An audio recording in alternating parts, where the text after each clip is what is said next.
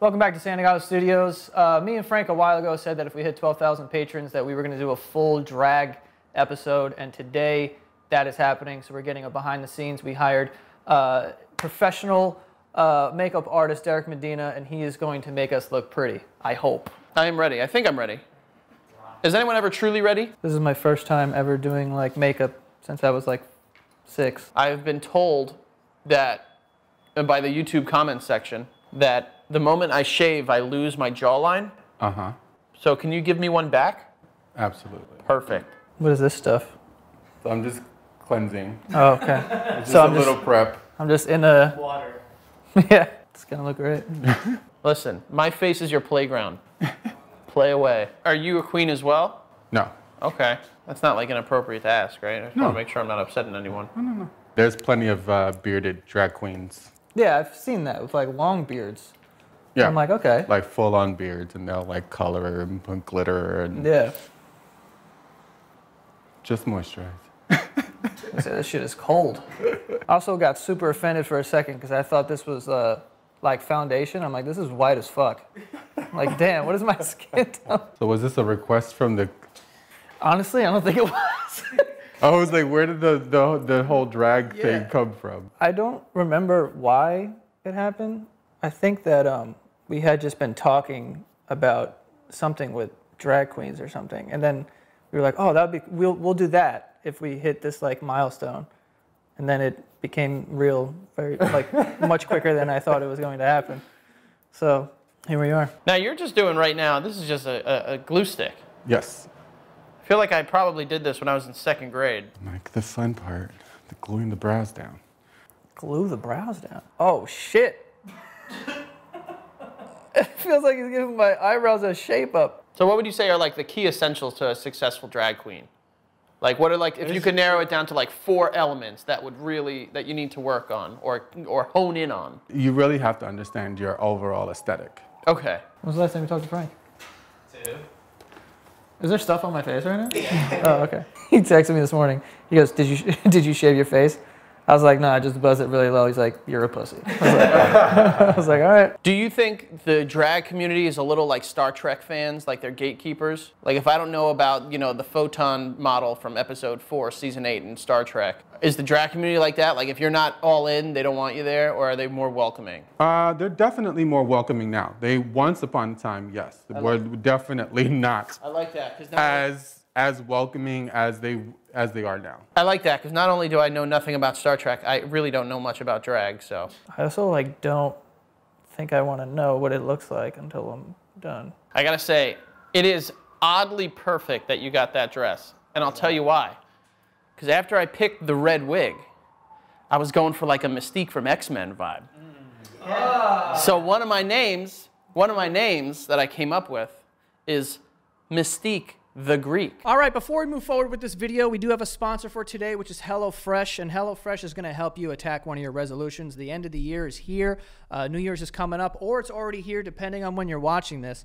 Uh, but HelloFresh is a great way to, uh, you know, eat healthier and get into cooking. So two resolutions that people normally have: they want to start cooking more, they want to stop eating out less.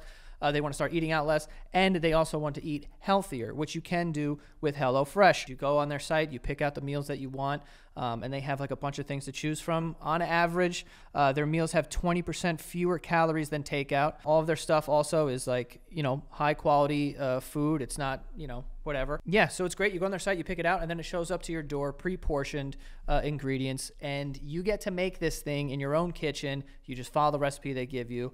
And there you go. You got a great meal. And it's more affordable than eating takeout or going to a restaurant or anything like that. On top of it being already affordable, more affordable than uh, you know takeout or anything like that, you can save even more money uh, by going to hellofresh.com slash Santagato21 and use the code Santagato21 for 21 free meals and free shipping. That's a lot. This is also like my mom's like favorite company because she loves cooking and she loves, you know, getting new ideas for recipes. So if that's something you're into, definitely hit them up. They're amazing. I've used it numerous times. Love HelloFresh. HelloFresh.com slash uh, Santagato21. Get to it. How are you coming up with what you're going to do? Tell me, are you just kind of like freestyling, or you have an idea in your head of what it's going to look like when it's done? I'm really kind of doing it based on like your bone structure. Okay. Bone structure, skin tone, the fact that you chose the blonde Yeah. wig. Okay. So it's all kind of be got to be like cohesive. Yes. Got it. And how's my bone structure? I mean, it's it's your it's just your bone structure. What would be funny is if I get a call right now from Becca that she's going into labor. you look great. Do I? Yeah. I'm not You're even done, dude. You're already less scary. Have you ever worked with someone that refuses to shave their facial hair because of their lack of It's a it's a genre of drag. It is? Yes. What is it called? Bearded queens. Bearded queens. I like, There you go. like a bearded dragon. Yes. I guess. I look like a cat. I look like a cat. I kind of like it though. Can't believe I'm becoming a drag queen. I once had a girlfriend. Tell me if this is something that would get someone fired. And by fired, I mean broken up with. we were in the car Uh huh. singing. Uh, no, we weren't singing. We were in the car, and there was music on, and I started to sing it, and she put her hand over my mouth and said, shh. That's really bad. Yeah. You've gotten your makeup done before, right? This is not my first time in drag. What? Yeah. What the fuck? I thought we were both going into this first timers. Uh, well. Well. What, what, He's experienced. makeup has such a smell, you know? Mm-hmm. It's like rosy, but also like sand, like rose sand. Have you come up with any names? The name will reveal itself, Frank. I've come up with a couple names that I want to play out. Do you want to throw one at me? Like your least favorite one? My least favorite one is Ginger the Mouth. I feel like you're going porn star for some reason. No one's allowed to touch my nipples but me. And even then, I don't do it. Some people love nipple play. Joe? It honestly doesn't feel like there's anything on my face. I think Joey's in there transforming. He's like a beautiful butterfly. How does anyone do this on themselves? A lot of practice. I was gonna say it's got to be super tough. Honestly, scarily enough, I look like my grandmother. That grandma must have been really fabulous. Grandma was. She was a beauty queen. Yeah, she was Gloria from Astoria. She won the Miss Astoria pageant. Yes, Gloria from Astoria. That Let's fucking go. See that? Right? We, we locked eyes and I became Gloria from Astoria. Do you want to see before we do lip, or do you want to just do right. the full? I'll take a look.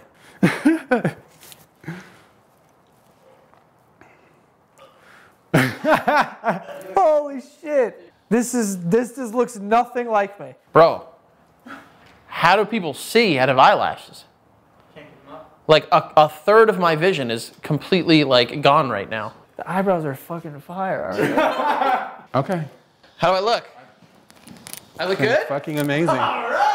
It doesn't feel like there's anything on my face, but I will say that my eyelashes are heavy. It's taking everything out of me not to just go like this. This is a process. It was like almost two hours in makeup. Like that's a lot. You don't realize it. Also, this is my dress, and I will say this: something needs to be done about, you know, uh, women's bodies or something because the fact that this is an XL and it's this tight is just insane. Like, what does an what does an XS look like? I have no idea. Frankie has a beautiful blue dress. I've been told I look like uh, the drag bartender from Shrek. Which I'm not upset about that, honestly. This is also me before the hair.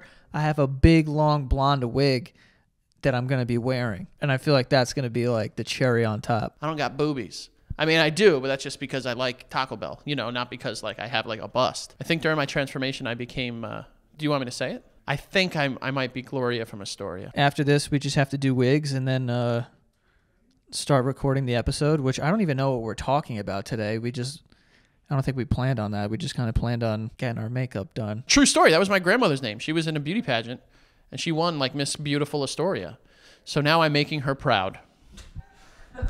How do you feel, Yaya? She's gone. She can't hear this. Yeah, she's she's she's dead. If you guys want to watch the podcast, you can go to patreon.com slash the basement yard, by the way.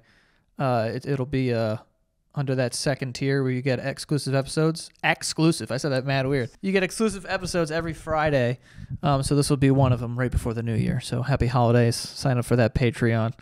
And this is the kind of shit that we do when we hit milestones. I look like Madonna now. Welcome back to the basement yard. Frank, how's it going? Uh, don't. That's not my name today. oh, Fuck you.